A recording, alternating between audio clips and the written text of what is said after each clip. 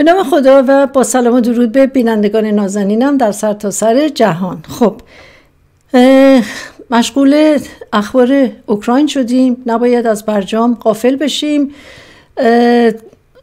استاد حجت الاسلام محمود نبویان که نماینده مجلس هستند ایشون یک کلیپی دادن بیرون درباره اینکه این برجامی که حالا قراره به توافق برسن این چی هستش؟ و واقعا می‌خوام بگم که فاجعه است. در صورت این افشاگری هست درباره برجام. حالا ما میریم یک کلیپی رو از رئیس جمهورمون می‌بینیم. اینجا در اون نشستی که در قطر داشتن و دیداری که در واقع امیر قطر ترتیب داده بود و بسیار هم استقبال شده از ایشون. خب ببینیم که در اون فضا و در اون رابطه رئیس جمهور ما آقای رئیسی چی گفتن؟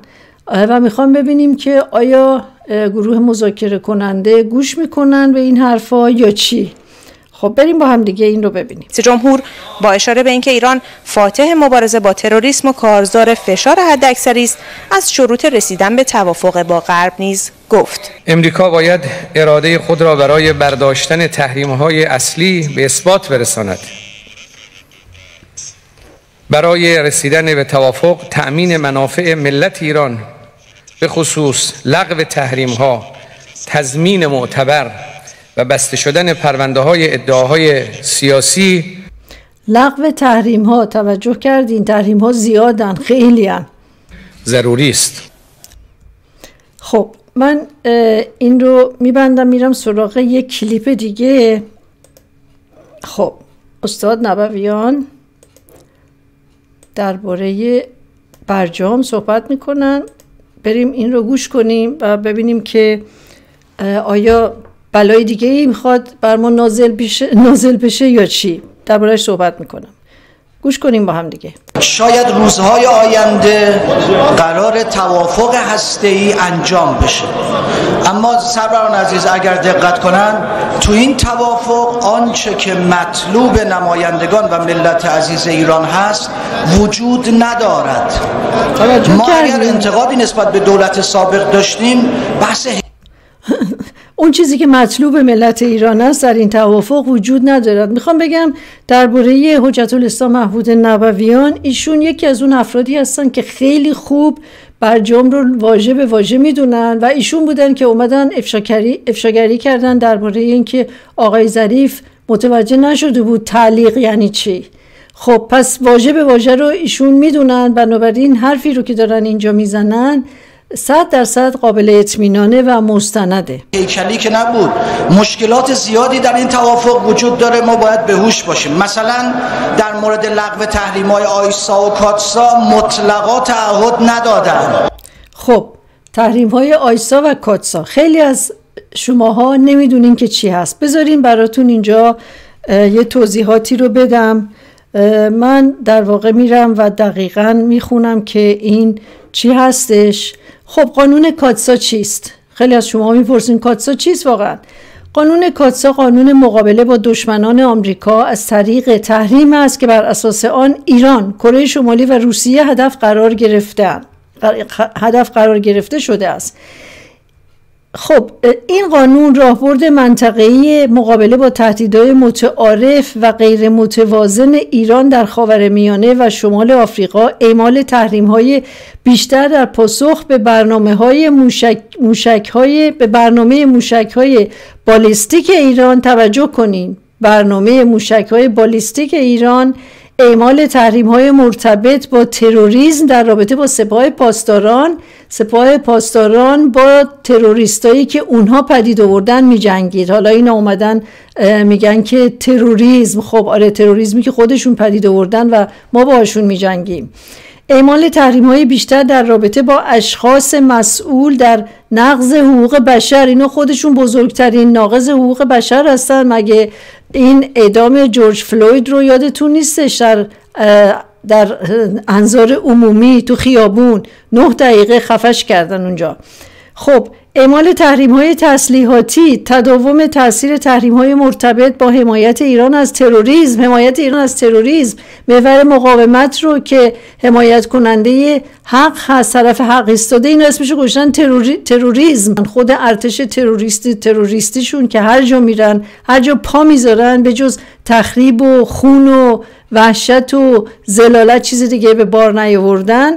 خب گزارش درباره هماهنگی تحریم ها میان ایالات متحده و اتحادیه اروپا و گزارش درباره شهروندان آمریکایی بازداشت شده در ایران رو شامل می شود خب این کاتسا بودش. یعنی وقتی که قانون کاتسا چهارم مرداد 96 در مجلس نمایندگان آمریکا تصویب شد در مجلسشون در کنگره تصویب شده و 11 مرداد ماه توسط ترامپ امضا شد. بر اساس این قانون دولت آمریکا موظف است ظرف 90 روز این تحریم ها را علیه ایران اعمال کند که کرد. خب این از قانون کاتسا بود. میرم سراغ قانون ایسا خیلی فکر می‌کنن ربطی داره به حضرت عیسی نه. خب حالا براتون می‌خونم. قانون تحریم ایران. در واقع ایسا یعنی Iran Sanctions Iran Sanctions چیست؟ قانون تحریم ایران با یا ایسا نام طرح پیشنهادی سناتور آلفونسو داماتو. این آخه به قانون داماتو هم نام برده میشه. آلفونسو داماتو در مجلس سنای آمریکاست این هم اونجا به تصویب رسیده که در سال 1996 یعنی چی؟ یعنی 26 سال پیش با تحریم با هدف تحریم بخش انرژی و صنعت نفت ایران به تصویب و به امضای رئیس جمهور وقت بیل کلینتون رسیده است. شما ببینید این, این تحریم های ایسا 26 سال به ایران تحمیل شده و به قانون داماتو مشهور است. خب این از این. میریم بقیه این بقیه این کلیپ رو گوش می‌کنیم در مورد لیست استیان لیست که 200 تا بود در برجام رسید به 980 تا آقایون گفتن 20 تاشو برمیداریم. دارن توافق می‌کنن همین را. از 980 که 980 که در اون لیست بودن فقط 20 تاشو قراره بردارن. در مورد کانورژن تبدیل ارز مطلقا تعهد ندادن که این کار انجام بشه. یعنی وقتی که ما نفت میفروشیم معلوم نیست بتونیم به دست بیاریم. خب اینم از این. توجه کردین؟ معلوم نیست که بتونیم پولشو بگیریم یا تبدیل ارز بکنیم یا هرچی. در بحث تضمین ها آمریکا مطلقا تعهد نداده که از برجام خارج نشود. متاسفانه دوستان تیم قبلی مذاکرات مسئولین اصلی این مذاکرات هن. من دیگه اینجا اسم نیارم. ما سه تا گروه داریم. گروه تحریم گروه هسته‌ای و گروه اجرایی. این کمیته ها مسئولینشون همان کسانی هستند که برجام را فتح الفتو می‌دانستن اینو باید خیلی بهش توجه کنیم. ما بی... خب یعنی همون همونا نشستن اونجا و تصمیم می‌گیرن در واقع اونا داوری می‌کنن. همون کس همون مهرایی که قبلا اون شاهکار رو به بار آوردن. می‌تونیم از اونا تصمیم بگیریم. ببره کنگره مصوب کنه. شاید بگید کنگره الان مخالفت می‌کنه. الان کنگره اکثرش دموکراتن و بایدن هم همینه.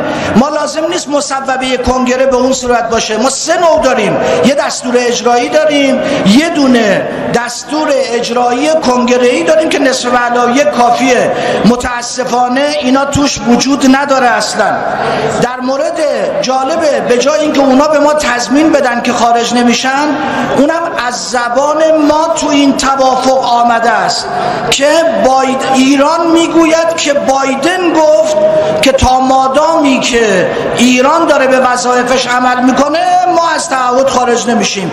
یعنی ما تصمیم میدیم که اونا خارج نمیشن. خیلی جالبه. یعنی به جای اینکه ما ازش تعهد بگیریم دارن از ما تعهد می‌گیرن.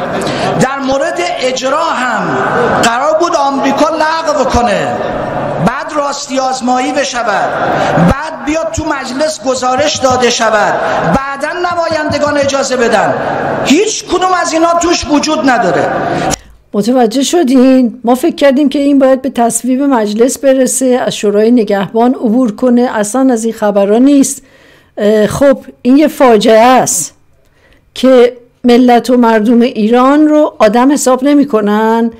خب نمایندگان ما در مجلس نشستن دیگه. فقط آمده است که آنطوری که من اطلاع دارم آمده است که اونا فقط یه سری رو کاغذ خواهند نوشت که ما تحریما رو مثلا ویوش کردیم یا برداشتیم. همون رو کاغذ کافیه و ایران باید بره به سراغ اجرای تعهدات خودش. خب.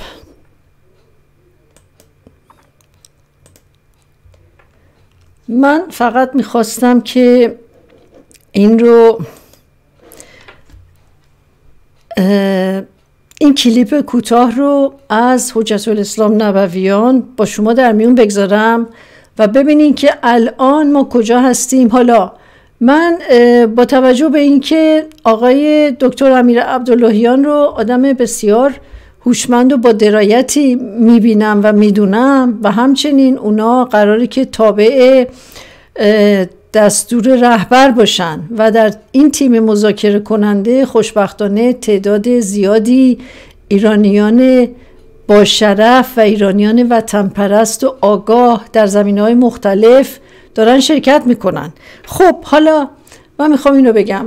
اگر که هدف اینه که حالا اگر که اینا قراره یه بخش مهمی از یه بخش بزرگی از پولای ایران رو آزاد بکنن من می‌خوام بگم این برجام فقط در یک صورت به درد می‌خوره. من همیشه گفتم حتی اگر تمام کارهایی که ما می‌خوایم اونا انجام بدن انجام بدن اصلا این جلوگیری از پیشرفت علمی ایرانه.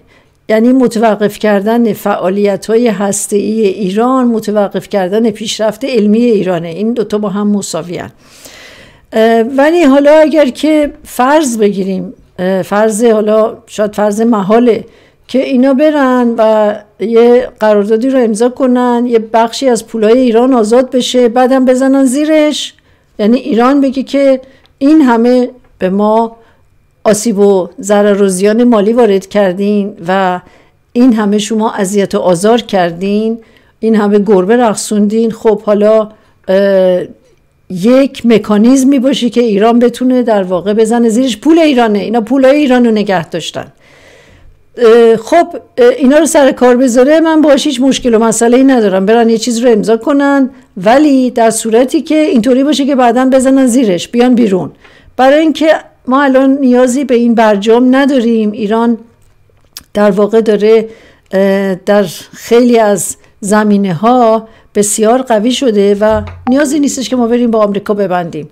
پس بنابراین من امیدوارم که گروه مذاکره کنندمون واقعا به فکر منافع ملی باشن و واقعا این فکر رو داشته باشن که ملت ایران از این برجام از این برجام ننگین چقدر آسیب دیدن و در واقع با یک برجام ننگاور دیگه نیان خونه.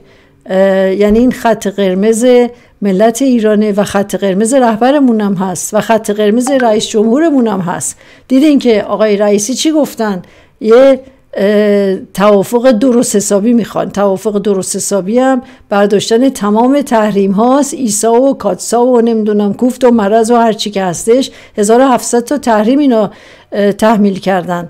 و به این آسونی نیست. حالا من دلگرمی اینه که اینا توی اون کنگرهشون وقت هر چیزی که به تصویب برسه برداشتنش خیلی سخته. خب و شاید به دلیل اینه که این گروه برجام دارن ملایم میشن میگن حالا که کنگره نمی‌تونه نمی‌دونم این چیزها رو برداره حالا ما بیایم یه خورده بهشون آوانس بدیم ان که این گونه نباشه. حالا باید ببینیم که چی پیش میاد. ولی فقط این که بدونین این افشاگریه که داره چی میگذره.